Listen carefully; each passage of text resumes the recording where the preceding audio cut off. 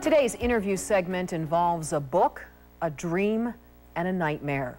Guy actually gets to the point.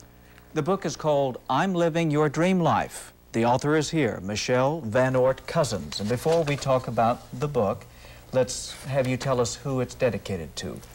Uh, my book is dedicated to my niece, Stephanie Rose Van Oort, and I didn't have the original intention of dedicating it to her, but unfortunately, about three weeks after I signed the book contract, uh, Stephanie passed away. What happened? Uh, she took a dietary supplement with the herb ephedra in it and had a fatal heart attack as a result. And she was 20? She was 20 years old and she was down for a good two hours before they were able to establish a heart rhythm and we lost her. And this has caused you to issue a warning to everybody about this? Well, absolutely. It's the, the way the story is, is, and the reason I dedicated the book to her is, again, as I said, three weeks after I signed the contract, she died, which made it virtually impossible for me to do the editing and the rewriting that I needed to do. And so when I handed it over to Stephanie, um, it got me through the process. Well, the book launched in July in Wisconsin, which is where my husband and I operate a business and um, is the reason for this book. Uh -huh. And it did very well.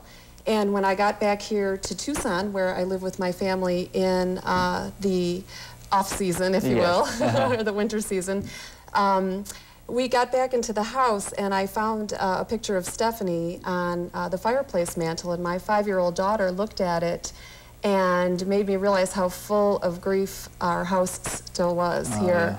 Yeah. And while we had the opportunity to get away from Tucson for three or four months to work and be at the resort in Wisconsin, my brother and his family had no opportunity at all.